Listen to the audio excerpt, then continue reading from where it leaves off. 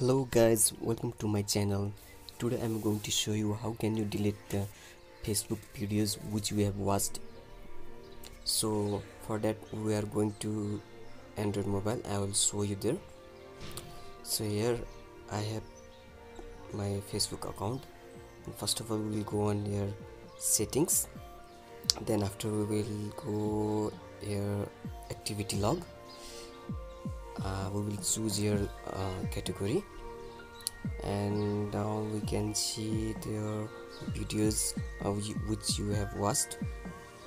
And we can see the list of here which we have watched the video. Uh, in mobile it is not possible to delete at once. So we will take help of desktop.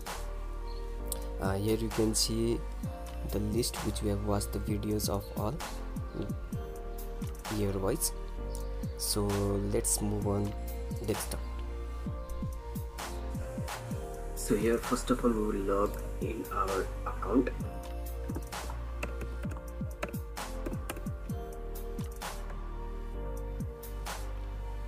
Here we will be going here here you can see activity log. After that we have to click here. You can see here more. And you can see here videos you have watched.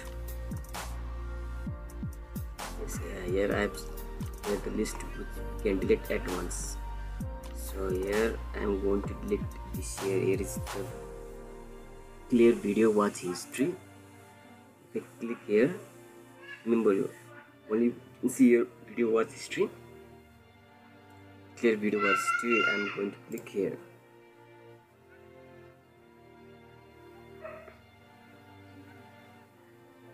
Selected you can see here. Now let's move on. Android we can see. Now we are in our android mobile. And now we are opening our facebook account. Here we'll go by their settings and privacy settings and their activity log. We'll choose the category